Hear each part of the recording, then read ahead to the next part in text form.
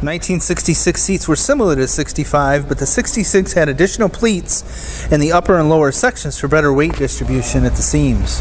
This is a 1966 silver silver Corvette. It is more of a base Corvette. It is a matching numbers car.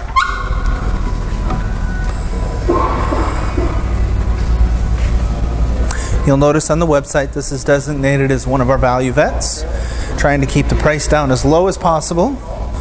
We'll notice there's a little patina and such showing on the front bumper. The paint is good, but it does have its blemishes. Here, there. Emblems are nice. Original shielding. Uh, we do have some replacement hoses and such. So a nice engine compartment, more original on your um, and the bushings being more original, as I said. Top on the car is replacement. It is uh, vinyl.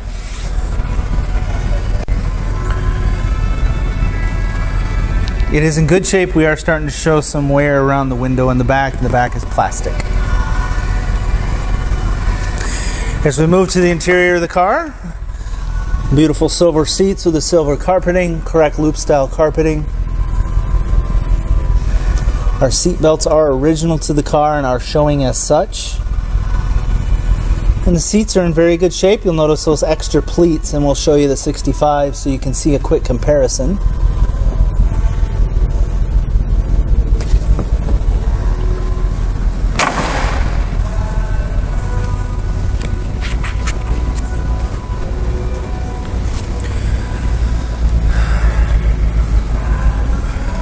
Looking for something to enjoy on the weekends, have some fun with, and do some cosmetic work too. This might be the car for you. Be a great candidate for an LS swap if you wanted to go that route. Or just to enjoy on the weekends without spending so much money.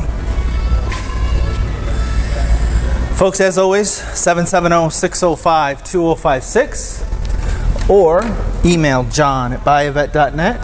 And before we leave, I'm going to show you what I was talking about in the front of the show um, we're going to show you the two seats. So the 66 seats had the more pleated in the center to allow for the weight distribution so they didn't have any issues with them, wherein the 65 seats had a lot less pleating to them.